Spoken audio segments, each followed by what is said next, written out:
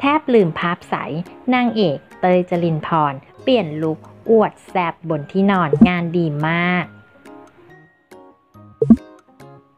ชินตากับภาพสวยๆ ใสๆ กันอยู่แล้ว ดังนั้นนานๆทีนางเอกสาวเตยจรินพรจะเปลี่ยนลุคมาสวยๆ แซบๆ สักคนก็เลยทำเอาแฟนๆ ติดตาตึงใจในความแซบไม่เบา โดยภาพเซตใหม่เซตนี้ สาวเต้ยเผยเสน่ห์ออร่ากระจุยกระจายกับสไตล์เมคอัพฉ่ำๆว้าวๆ สวยละมุนไม่ไหวจริงๆ ทางด้านชาวเน็ตก็แห่เข้ามาชมกันเพียบ เช่น แต่งหน้ายังไงให้เหมือนใส่ฟิลเตอร์ ตัดปีกจมูกแล้วสวยมาก สวยค่ะ แต่รูปแรกเด้งมานึกว่าใครจำไม่ได้เลยว่าเต้ย สวยมากขนาดเป็นผู้หญิงด้วยกันยังชอบมองเลย น่ารักมีเสน่ห์เป็นต้น